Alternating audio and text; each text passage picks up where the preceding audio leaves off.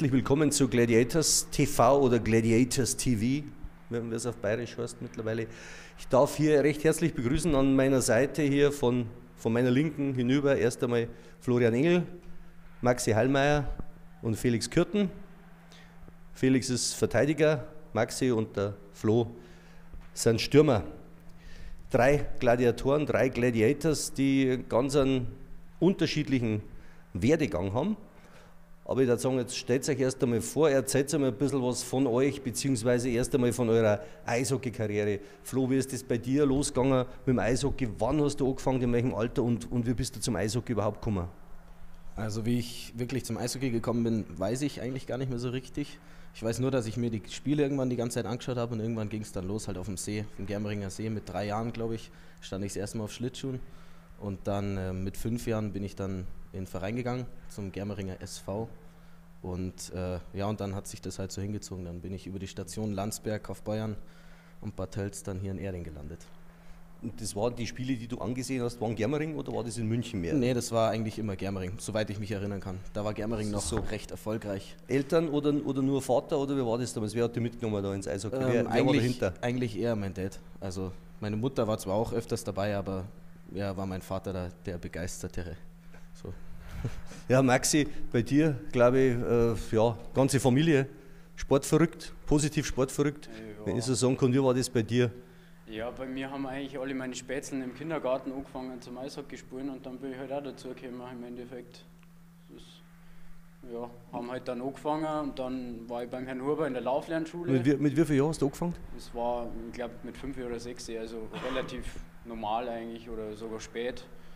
Ja, dann war ich erstmal Torwart, dann bin ich raus und jetzt bin ich da als Spieler. Und deine zwei Brüder spielen auch noch im ja, Nachwuchs? Genau, die haben dann auch angefangen. Mittlerweile spielt der größere von den zwei kleinen Brüdern in Klostersee und der kleine spielt in Erding. Ja, Felix, und du auch deine Anfänge in Erding? Ja, bei der Lauflernschule beim Peter Semmler weil dann hatte ich auch noch einen Hans Huber, habe auch mit drei angefangen wie der Flo. Bin beim älteren Schülerjahrgang dann nach Landshut gegangen irgendwann und dann jetzt wieder zurückgekommen die Saison nach Erding. Ja, das war, du hast das jetzt etwas gerafft, das ja. Ganze. Man muss dazu sagen, du hast im älteren Schülerjahrgang, du bist damals runtergegangen nach Landshut und gleich auf Anhieb deutscher Meister geworden. Ja. Wie war das damals? Erzähl ein bisschen was von der Endrunde. Na, es war ein bisschen überraschend. Also wir haben die ersten Spiele, also damals war es so, dass Mannheim große Töne gesprochen hat und gesagt, ja, wir hauen alles weg und äh, keine Probleme. Und dann haben sie das Spiel gegen uns verloren war für uns damals schon fast wieder Gewinn der deutschen Meisterschaft und dann haben wir ohne Niederlage die Endrunde durchgespielt und sind Meister geworden. Das war aber noch nicht alles bei dir. Du bist ja dann in die DNL aufgerückt bei Landshut und da gab es jetzt ein vergangenes Jahr den, den absoluten Höhepunkt. Ja, da waren wir drei Spieltage vor Schluss, glaube ich, noch auf dem letzten Platz und haben dann alles seitdem gewonnen und haben dann Mannheim in der ersten Runde rausgehauen. Sind wir schon wieder bei Mannheim? Wieder Mannheim. Den ersten, wenn man sagen, ihr wart Achter. Wir waren Achter. Wer sich ein bisschen auskennt in, in, der Playoff, also es, gehen wir davon aus, dass nicht alles Kenner sind. Da spielen die ersten acht die Playoff, der erste gegen achten, zweiter, siebten, dritten, sechsten, vierten, fünften und so weiter. Und ihr als Achter wart ja, also größere Außenseiter als gegen Mannheim kann man eigentlich nicht sein. Na. Und dann nur dazu Achter. Haben dann überraschend die rausgehauen. Krefeld haben wir dann 3-0 wegputzt und dann haben wir ein Rennspiel gegen Rosenheim gehabt und dann, ja, sind wir Penalty schießen. geworden. Ja, im Penalty-Schießen hat der Buschi dann das letzte Tor gemacht und dann sind wir deutscher Meister gewesen. Und wie waren die Feierlichkeiten dann? Auf dem Eis sehr groß, in der Kabine sehr groß und am Abend dann in Landshut auch noch ziemlich. Also war, war grob. Maxi, was war dein, dein äh, größtes Erlebnis im Nachwuchsbereich jetzt einmal? Ja, damals, wenn wir mit der Jugend auf der deutschen Meisterschaft Dritter waren, sind auf jeden Fall. Da warst du, mit wem warst du in der Endrunde? Äh, mit Iserlohn, Essen und Ringsburg waren noch dabei, ja. Und euer Trainer damals? Das war der Markus. Markus Gnallinger. Ja, habe ich jetzt schon das fünfte Jahr, glaube ich. Bringst nicht mehr los. Flo, bei dir Nachwuchs. Was waren deine Highlights oder Höhepunkte? Du bist ja auch Nachwuchsnationalspieler gewesen. Ja, das zähle ich jetzt auch mal mit dazu. Also 18 war AWM in Russland, das war ein tolles Erlebnis. Äh, sind auch Fünfter geworden, sehr überraschend eigentlich. Und U20 war dann, ähm, war zwar die BWM, da sind wir dann wieder aufgestiegen, aber war trotzdem ganz toll. U18 AWM, das sind immer da, wo die ganzen Scouts unterwegs sind. Das ist eigentlich diese Ja, diese Weltmeisterschaft sagt man immer, da geht es dann los. Äh, erstens spürt man das oder merkt man das oder wird dann da gesagt, du, das ist der Scout, das ist der Scout. Kriegt man da irgendwas mit? Also ich glaube, als Deutscher kriegt man da nicht so viel mit. Also es sind, glaube ich, eher die Scouts schon eher so auf die Länder wie Kanada, USA, Schweden, sowas. Aber gut, bei uns Deutschen haben sie natürlich auch ein paar angeschaut, aber ich glaube nicht, dass ich jetzt da dazu gezählt habe.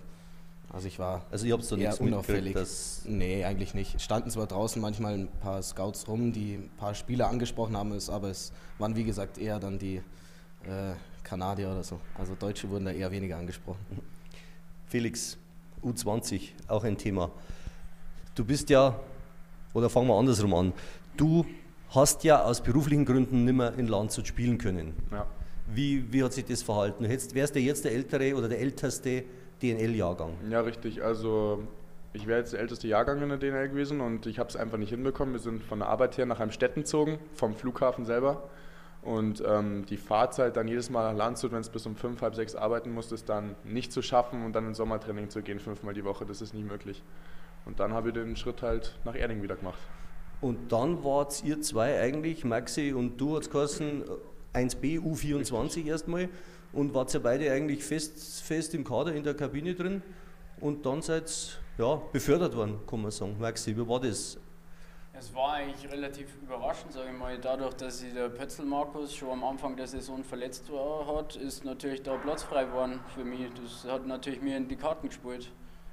Ja, ist, wie gesagt, so war's. Und Felix, bei dir war es ja auch so, Verteidiger, plötzlich war Verteidigernotstand.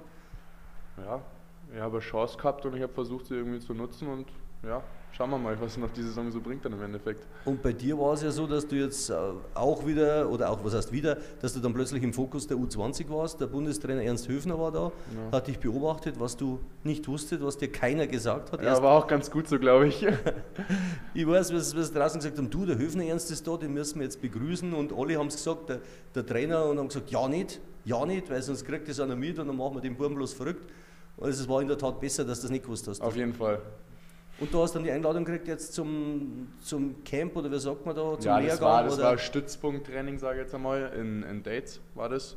Und es hat so ausgesehen, dass wir die ganze, gesamte Trainingszeit Überzahl Unterzahl gemacht haben, weil gesagt wird halt, dass in den Vereinen die jungen Spieler wenig Chance bekommen, Überzahl Unterzahl zu spielen. Und das wird dann da trainiert und dann hat sich auch im Laufe der Woche dann noch entschieden, wer mit in Schweiz fährt. Bin ich dann auf Abruf gewesen, das ist auch keine Schande. Also Na, das absolut ist, nicht. Na, also ja. Du bist ja noch auf Abruf. Kann ja noch was? Ja gut, ich, die, fahren jetzt, die fahren jetzt morgen früh, also ich denke nicht, dass sich jetzt noch was ändern wird, aber das Seid macht man nicht so sicher? Seid ihr da mal nicht so sicher? Hast du da Erfahrung? Ja, hat mit dem Ernst oder ab und zu ruft er mitten in der Nacht an. Da muss er am nächsten Tag dastehen. Beim Ernst. Ja, so, so muss das sein. Aber du hast das immer als, äh, gehen wir davon aus, als Ehre empfunden, das Ja. Nationaltrikot zu tragen. Ja, klar. Das ist, ja, Ja. Das ist wohl das Allergrößte überhaupt. Hast du noch irgendein Souvenir von der WM? U18? Ja, das Trikot halt.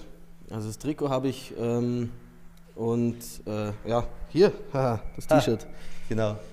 aus Russland, ja. Und ja, ansonsten, ansonsten haben wir glaube ich nicht viel bekommen. Gibt es da noch Kontakte? Ich meine, damals hat es, damals ist gut gesagt, das ist jetzt zwei Jahre her, drei Jahre, 2008 hast du gesagt, gell? 2008. 2008, da hat es ja noch kein Facebook gegeben. Äh, haben wir trotzdem noch Kontakte irgendwie zu Mitspielern oder, oder auch zu Gegenspielern? Ja, also zu Gegenspielern eher weniger, also zu Mitspielern schon. Dadurch, dass es halt äh, Facebook immer Jetzt mehr gekommen ist und man die halt doch irgendwie dann als Freunde dann hat, äh, ab und zu schreibt man dann schon mal miteinander. Aber mit Gegenspielern eher eigentlich weniger. Also gibt es keine länderübergreifenden Kontakte. Eher nicht, nee. Felix, äh, zu deinen ehemaligen Landshuter Mitstreitern gibt es da noch gute Kontakte? Das heißt gut, man sieht sie halt, die schauen ab und zu bei uns zu. Also die gebürtigen Erdinger selber schauen manchmal zu und dann redet man halt ein bisschen. Und jetzt im DEB habe ich ein, zwei Leute wieder gesehen, die ich halt noch von früher kannte. Und ansonsten. Einmal Freien Wunder und Landshut, wenn man da am Abend mal weg ist, dann sieht man auch mal jemanden, den man kennt. Also im Endeffekt ab und zu halt. Und ein Wiedersehen hast du gefeiert mit Manuel Kindl, Ja, das war ganz gut. der gebürtiger Augsburger ist und Ja. dann mit dir in Landshut gespielt hat und der hat einen, einen Vertrag gekriegt, Dreijahresvertrag beim DL-Verein in Augsburg. ist man da, freut man sich da mit seinem Kollegen oder ist man dann eher traurig, dass man selber nicht jetzt in der DL spielen Na. darf? Oder wie ist das eigentlich? Das Na, man freut sich auf jeden Fall. Also wo man man hat es ja erst irgendwie ganz am Ende der Saison mitbekommen, beziehungsweise erst am Anfang der nächsten Saison. Und dann, dann freut man sich natürlich, ich meine, wenn man die Saison mit einem zusammenspielt, dann äh, kennt man den anderen recht gut und dann sagt man nicht, ja, warum spielt der DL und nicht der FNet? Also das ist auf jeden Fall, da freut man sich auf jeden Fall für den anderen. Das ist ganz klar. Auch wenn die Jungs zum Beispiel nach Amerika rübergehen, freut man sich auch für die, dass die jetzt den Sprung geschafft haben. Und äh, Manu ist jetzt als Förderlizenzspieler hier in Erding und ist sicher recht, recht lustig, das Ganze. Ja, Wie schaut es bei dir aus, äh, Flo? Auch noch Kontakt zu alten Mitspielern, die jetzt höherklassiger spielen, DEL oder zweite Liga, gibt es ja sicher auch welche. Jein. Also die meisten Kontakte habe ich eigentlich zu den Tölzern. Und ähm, ansonsten, so kenne ich vom Inline-Hockey her halt ein paar Leute, wie jetzt zum Beispiel Menge Daniel, mit dem, ziemlich, mit dem bin ich ziemlich gut befreundet. Der spielt halt jetzt zweite Bundesliga. Aber jetzt so spontan fällt mir eigentlich keiner ein aus der DEL jetzt. Ja, du bist genau, du bist der deutsche Meister im Inline, Inline-Hockey. Mehrmaliger. Mehrmaliger, genau. Ferdinand Zink und du, die Stützen, die Stützen des Teams. Ja, Vielleicht, ich, meine, ich weiß ja, wer alles mitspielt, aber erzähl doch einmal, welche namhaften Spieler bei euch im Team stehen. Ja, also ein Greilinger spielt mit, dann der Michael Wolf, ähm, ein Reimer, Patrick haben wir, nee, Patrick nicht, wer ist der? Jochen. Jochen. Jochen Reimer, den haben wir noch dabei. Ähm, ja, gut. Es kommt aber jetzt auch nicht immer darauf an, ob die jetzt im Eishockey gut sind. Man muss halt im Inline-Hockey, das ist wieder eine ganz andere Sparte da. Das ist auch so einer wie der Wichert, der jetzt in der DL eigentlich nicht so die Führungsrolle hat, ist halt im Inline-Hockey dann auch ziemlich stark. Und solche Personen brauchst du halt auch. Und du wechselst zu den Crowns, zu den Erding Crowns jetzt, dann ist das Das- dann da schon Vertragsverhandlungen? Das versucht der Danny die ganze Zeit irgendwie äh, einzufädeln, aber ich bleibe in Germering, das steht schon mal fest. Man mehr verdienen, gell, wenn Erding. Maxi, wie schaut es bei dir inline-mäßig aus? Bist du da irgendwie, hast du Ambitionen oder Ja, bis jetzt, letztes Jahr habe ich halt bei die Birkefels mitgespielt und so. Und schauen wir mal, was heuer im Sommer wird. Das sieht man dann, was mir da Aber es macht inspiriert. Spaß, oder? Ja, das auf jeden Fall. Auch, nehme ich an, oder Flo? Ja. Felix, du Inline? Äh, absoluter Neuling. Also Ja. ich, nächstes Jahr werde ich, glaube ich, mal den Schritt aufs Parkett wagen, aber keine Ahnung, was dabei rauskommt. Ja, ich glaube, von der, von der Körpergröße her kann ich mir vorstellen, dass die kleineren Spieler beim Inline einen Vorteil haben, oder? Bin jetzt da, also ich bin da total allein vom aktiven Spiel her. Also Vorteil hat der, der Inline fahren kann und bremsen, das ist schon mal das Wichtigste. Bremsen habe ich gehört, ist ganz anders, ja. Also das ist der große Unterschied. Und kein Körperkontakt. Die Erfahrung jetzt in dem ersten Oberliga-Jahr. Ja, war eigentlich ganz gut. Was, was ich halt finde in der Oberliga, du hast halt viel weniger Zeit. Das kann man mit der Bezirksliga gar nicht vergleichen, weil ich habe ja letztes Jahr im Endeffekt nur Bezirksliga gespielt. Ich sage mal so, die Bezirksliga letztes Jahr war eigentlich relativ schwach. Dadurch, dass wir einen Danny und so auch noch gehabt haben, haben wir im Endeffekt fast alles weggeschossen. So eine Spiel da gegen Regen in Regen ist halt unglücklich gelaufen, aber es war eigentlich relativ leicht, sage ich mal. Und heuer in der Oberliga ist halt was ganz anderes. Wenn du da nicht aufpasst, dann kriegst du gleich einen Check, dass aus ist im Endeffekt. Und was passiert halt in der Bezirksliga gar nicht. Da schmunzelt der Experte. Du hast ja schon Oberliga-Erfahrung aus deiner Tölzer Zeit. Bist dann wieder zurück in die Bayernliga aus beruflichen Gründen, jetzt wieder mehr oder weniger zufällig wieder in der Oberliga gelandet, wenn man es also so sagen darf. Äh, wie hat sich die Oberliga verändert in den letzten Jahren? Ja gut, ich, ich spiele jetzt auch noch nicht so lange Oberliga, also das ist jetzt mein drittes Jahr, dass ich jetzt in der Oberliga äh, mitspiele. Und ja, ich würde sogar sagen, dass es spielerisch ein bisschen schlechter geworden ist, aber läuferisch vom Tempo her doch besser geworden ist, weil halt auch viele jung, junge Spieler jetzt wirklich zum Einsatz kommen, die laufstark sind und halt viel Tempo reinbringen. Meine Ich glaube, diese, diese spielerisch, dass das schwächer geworden ist, liegt wahrscheinlich auch daran, dass es nur noch zwei Ausländer erlaubt sind. Das auch, ja. Damals waren es ja fünf, eh, oder am Anfang waren es sechs, dann waren es fünf und jetzt sind es bloß noch zwei. Das ist ein Grund. Ja. Die doch die, die letztlich die Qualität wahrscheinlich reinbringen in, in das Ganze. Profitiert man davon, wenn man viele Ausländer im Team hat? Oder fällt man eher hinten runter, wenn man sagt, ja, die Ausländer spielen Überzahl, die spielen Unterzahl, da komme ich als Junge sowieso nicht dran? Also als junger oder als, ja, als junger Spieler äh, profitiert man davon, wenn es weniger Ausländer sind, klar, Ja. weil dann spielt man mehr. Ähm, ich finde es aber im Endeffekt äh, ganz gut, dass es weniger Ausländer sind, weil das deutsche Eishockey muss auch schauen, äh, dass es weiterkommt und das geht halt nur, wenn die jungen Spieler auch wirklich spielen und nicht in der dritten Liga dann auch noch sechs Ausländer erlaubt sind, die dann einfach sozusagen das ganze Spiel machen. Es müsste halt auch Deutsche geben, die wirklich äh, die Führungsposition dann übernehmen und mal was antreiben. Maxi, bei dir habe ich ganz, ganz eine besondere Frage. Ähm, deine Schwester Kathi ist ja jetzt auch in aller Munde, ist an Leukämie erkrankt und es laufen großartige Hilfsaktionen überall. Es war auch dieses Spiel. Hilfe für Kathi war da gegen Rosenheim. Für mich tolle Sache, 650 Zuschauer da. Äh, und dann gab es dieses Penaltyschießen und du äh, war das deine Idee, dass du Penalty schießt oder hat dich der Trainer hingeschickt? Nein, ich wollte eigentlich gar nicht schießen. Die Teamkameraden haben dann gesagt, ja, lass den Maxi schießen und ich habe das gar nicht mitgekriegt. Der Markus hat mich dann aufgeschrieben. Dann hat es auf einmal geheißen, ja, Maxi, fang an, du musst jetzt schießen. Und du warst dann letztlich der Einzige von Erding, der verwandelt hat? Ja, im Endeffekt schon. Aber ich habe halt auch einfach geschossen. Und was ist da, da in dem Moment durch den Kopf gegangen? Ja, ich habe eigentlich ja, wie gesagt, ich wollte eigentlich gar nicht schießen und dann habe ich mir gedacht, jetzt laufe ich einfach hier und schaue, was rauskommt. Also ich habe da nicht groß drüber nachgedacht. Was sagst du, Felix? Ja, im Training äh, wechseln Max und ich und immer Abwehr Arsch der Woche wird im Endeffekt. Und, äh, ich muss sagen, Arsch der Woche ist der, äh, der als letzter schießen, der darf das rosa Trikot anziehen. Der muss dann das rosa Trikot tragen im Training, im nächsten Training dann, ja. oder? Und da läuft er hin und macht einfach nein. was, war, was war denn äh, so der Höhepunkt in, im Eishockey-Leben. Bei dir kann ich mir das vorstellen, Felix, es waren die zwei deutschen Meisterschaften. Maxi, bei dir war es, von der Mannschaft her, äh, wie du gesagt hast, ähm, diese Endrunde um die deutsche Meisterschaft, bei dir die U20, aber gibt es irgendwas Persönliches, dass ich sage, das, das war das Spiel, das ich für mich, von mir persönlich nicht vergessen werde, weil es besonders schlecht war, weil irgendwas besonders daneben gegangen ist oder weil es einfach irgendwas besonders war, was sagst du, da denke ich so oft noch zurück. Flo, du ähm, nix ja, ähm, das war das äh, DNL-Finale, also Deutsche Nachwuchsliga-Finale, haben wir gegen Mannheim gespielt mit Tölz und ähm, haben wir daheim gespielt, das erste Spiel. Und dann ging es in die Overtime und da habe ich äh, das Golden Goal geschossen. Also das werde ich, glaube ich, nie vergessen. Bei dir, Maxi, war es der Penalty oder? Ja, ich würde eher sagen, das war damals, da haben, wir um die deutsche Meisterschaft gespielt haben gegen Ringsburg.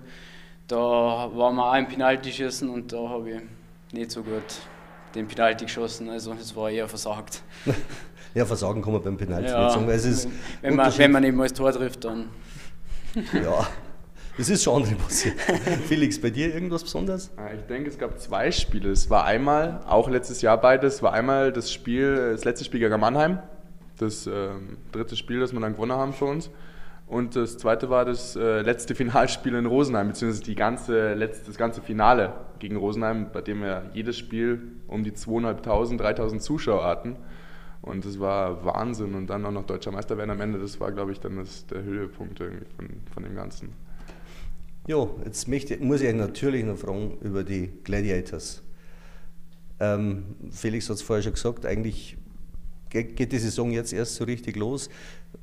Was, was, was glaubst du, was muss sich ändern oder äh, was glaubst du insgesamt? Was sollte der TSV Erding bzw. die Gladiators unbedingt in der Oberliga bleiben oder soll man sagen, ach, gehen wir lieber wieder runter, machen wir einen, neuen Anlauf dann im nächsten Jahr? Wie ist da deine Meinung dazu? Ich finde, wir sollten auf jeden Fall drin bleiben. Also ähm, die, die, das Lehrgeld haben wir jetzt erst einmal gezahlt. Ähm, nächstes Jahr schaut es bestimmt wieder anders aus. Das ist eigentlich klar. Also was heißt klar? Es ist einfach ein normaler Prozess, den jeder, jedes Team, das jedes frische Team durchgehen muss. Und naja, im Endeffekt kann es nur besser werden eigentlich. Maxi, wie schaut es bei dir aus? Siehst du auch so? Ja, da die, die Herausforderung Oberliga ist einfach. Ja, wie, wie, der Felix schon gesagt hat, das Lehrgeld haben wir heuer Zeit. Nächstes Jahr kann es bloß besser werden. Flo, du? Ich finde auch, dass äh, Oberliga auf jeden Fall der richtige Schritt war für Erding und ähm, dass man das auch beibehalten soll, dass man in der Oberliga bleiben soll. Weil, ja, wie gesagt, das Lehrgeld haben wir gezahlt und nächstes Jahr geht es dann wieder von neuem los und dann, wenn es vielleicht auch ein paar mehr Mannschaften sind, wird es vielleicht auch ein bisschen, also dass es nicht nur einen neunten Platz gibt, sondern dass halt bis zum zwölften Platz runtergeht, dann wird es auch wieder ein bisschen spannender, denke ich. Ja, inwie, inwieweit ist der Modus ermüdend, in Anführungszeichen? Ja, wenn es, also, wenn viermal, viermal nach Passau fahren musst in das kalte Stadion und dann einmal davon bei minus 20 Grad spielst, irgendwann hängst du dann zum Hals raus. Habt ihr das, seht ihr das auch so oder macht euch das Spaß? Naja, ich finde, wenn man die auch, wie er jetzt die letzten sieben Spiele viermal gegen Dengendorf spielt, im Endeffekt, oder dreimal, ist dann irgendwie schon ein bisschen. Also, das hat keinen Playoff-Charakter? Nein, gar nicht. Es ist einfach nur, ja, gegen wen spielst du ja gegen Deckendorf und am nächsten Mal sagst du dann wieder ja in Deckendorf und dann wieder daheim gegen Deckendorf. Also irgendwie, wenn es jetzt Playoffs wären, wäre was anderes, da wäre ein ganz anderes Feeling, aber so ist es halt im Endeffekt, also wie soll man das sagen, es ist nicht Fahrt, aber es ist halt, es, es fehlt halt die Abwechslung irgendwie. Also es ist Ich glaube, letztes Jahr war es doch so, dass Tölz zwölfmal gegen Klostersee gespielt hat, dann mit Playoff und dann in Österreich. Das war abenteuerlich irgendwie. Ja, gibt es noch irgendwas, was ihr loswerden wollt? Ein Wunsch, ein, ein, vom Sportlichen her? Grüße an die Tante. Oder seid ihr jetzt momentan wunschlos glücklich? Äh, nee, aber ich wollte eigentlich nur unseren Fans mal danken, weil, also ich bin positiv beeindruckt, sehr positiv beeindruckt. Ich habe das bis jetzt noch nirgendwo so erlebt, dass auch wenn man so viele Spiele verliert und ähm, ab und zu auch nicht wirklich so toll spielt, dass sie immer noch so viele kommen und ähm, uns anfeuern. Also das ist schon Respekt. Du Maxi? Ja, ich darf mich auch gern bei den Fans und vor allem auch beim Verein bedanken, noch wegen, nochmal wegen dem Spiel Hilfe für Kathi und alle Aktionen, die da auch außen rumgelaufen sind. Also danke. Felix, du bist der Letzte. Der Größte ist der Letzte. 2,3 Meter. Drei. Ich schließe mich am Flo an. Also ähm, das ist wirklich Wahnsinn. Man kann totalen Schmarrn spielen und die Fans stehen trotzdem hinter einem und es hört niemals auf, das gesamte Spiel, auch wenn es 5-0 zurückliegt, das ist wirklich Wahnsinn und ich hoffe, dass es so weitergeht jetzt die letzten Spiele, dass wir noch sauber das Haus daheim vollkriegen und dann vielleicht noch ein paar Siege einfahren. Gut, ich denke, die Fans singen, dass euch ihr wirklich reinhängt. Ich denke, dass der Fan an sich, der gemeine Fan, wie man so schön sagt, schon Gespür hat, ob sie eine Mannschaft hängen lässt oder nicht. Und also ich habe den Eindruck, bei euch kann ich es nicht feststellen. Es ist zwar mal Reifenplatzer dabei, wie der Franz Stehr es formulieren würde. Wenn ich das 2-6 gegen Klostersee zum Beispiel anschaue, war für mich persönlich die größte Enttäuschung der ganzen Saison. Aber dafür wird man entschädigt mit so Spielen wie in Passau bei 20 Grad minus oder jetzt hier gegen Deckendorf oder daheim gegen Peiting oder, oder, oder. Jetzt müsst ihr natürlich schlagen, dann habt ihr jeden Gegner mindestens einmal geschlagen und dann hoffen, dass wir in der Oberliga bleiben. Ich wünsche euch persönlich alles, alles Gute für die Zukunft. Danke. Sportlich, familiär, beruflich und natürlich, wie gesagt, nächstes Jahr wieder Oberliga. Ich hoffe, dass wir uns alle wieder sehen. Ich auch. Vielen Dank, das war der Gladiators Talk mit unseren drei, Florian Engel, Maxi Hallmeier und Felix Kürten und wir sagen Servus. Servus. Servus.